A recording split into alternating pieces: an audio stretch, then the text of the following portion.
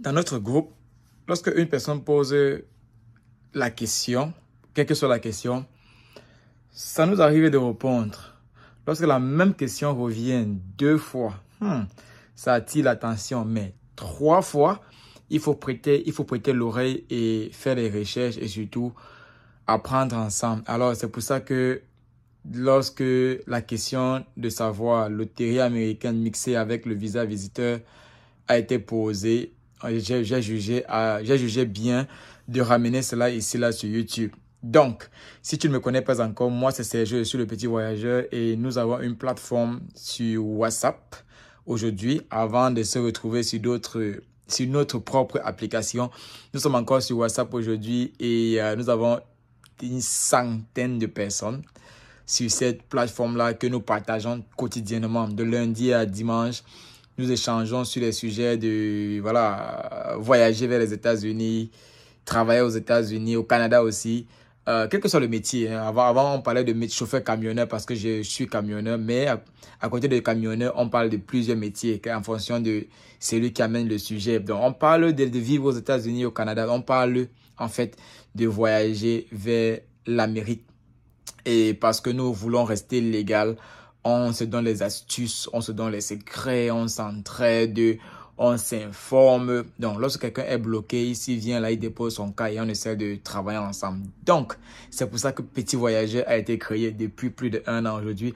Et lorsque Héritage vient, c'est une famille. Ce sont des membres qui ont dit, avec le nombre que nous avons aujourd'hui, qu'est-ce qu'on peut faire ensemble?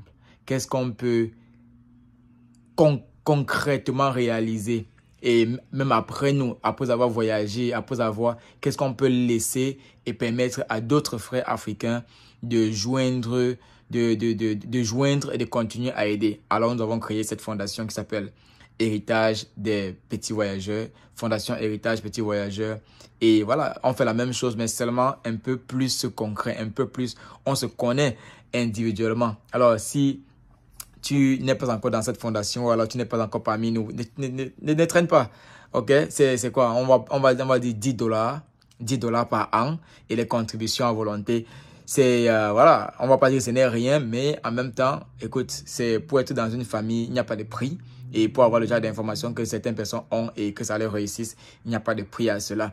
Donc, pour revenir sur la question, est-ce que le fait de jouer à la loterie américaine enfreint ma demande de, euh, de visa visiteur pour les États-Unis. Alors, si je gagne à la loterie américaine et que j'ai eu mon visa visiteur, suis-je obligé de rentrer euh, au, dans mon pays ou alors je peux continuer et je peux rester aux États-Unis pour réclamer ma, ma green card? Donc, c'est autant de questions qui reviennent quotidiennement dans notre groupe et j'ai jugé bien comme je le disais, de, de, de, partager avec nous ici, sur YouTube aussi et sur toute notre, notre plateforme. Parce qu'il faut le dire, la loterie américaine te donne de travailler légalement, ça te donne de voyager librement, entrer, sortir librement, ça te donne de, de, de, rencontrer des personnes librement, sans restriction, vraiment sans restriction. OK? Et pourtant, avec ton visa visiteur, tu viens pour une, pour une raison et, et rien d'autre. Soit visiter, soit faire une conférence, soit... pour la raison que tu viens, c'est rien que pour ça. Tu n'es pas libre. OK? Visa étudiant, pareil. Tu viens pour étudier. Après, tu dois rentrer. Pourtant, voilà, avec la DV avec la loterie, la green card, tu entres, tu sors, tu es libre. Donc, la DV loterie nous donne donc de pouvoir avoir la, loterie américaine qui est DV loterie, nous donne d'avoir la green card, nous donne tous ces avantages-là. Alors, si tu as joué à la loterie américaine en passant, nous sommes euh, en novembre, nous sommes le 1er novembre aujourd'hui et je tiens à dire ex, like excellent month of November. OK?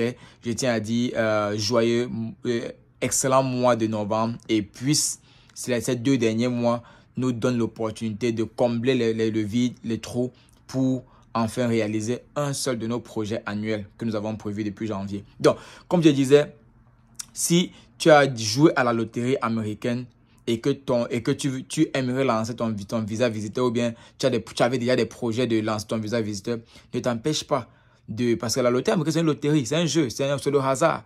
Si ça marche, on va en parler. Mais en attendant, si tu as des projets de voyager, lance ton projet de voyager, ok? Voyage, est ton, chercher à avoir, avoir ton visa, ça n'enfreint pas le voilà ça ce n'est pas un problème que tu aies joué à la loterie et que il découvre et que pendant que tu demandes le visa visiteur il découvre que tu avais que, que, que tu avais joué à la loterie américaine parce que tu veux rester. Non, non, non, ça n'a rien à voir. Si tu n'es pas criminel, si tu n'es pas recherché, si tu n'es pas une personne spéciale, ils ne vont jamais creuser, creuser, creuser, creuser. Parce qu'ils veulent vraiment creuser, même dans ton village où tu es, où que tu sois sur cette terre, ils vont creuser, te retrouver. Si tu es important, on va te retrouver. Donc, il n'y a pas de raison qu'ils te fouillent, qui fouillent jusqu'à aller chercher à savoir si tu as joué à la loterie américaine. Aujourd'hui, tu viens encore pour, demander le visa visiteur. Aucune raison. OK? Donc, pour dire que si tu as joué à la loterie américaine, ça n'empêche pas de, de, de, de, de, faire ta demande de visa visiteur. C'est deux cas, c'est deux cas, c'est deux dossiers, ok? Fonce.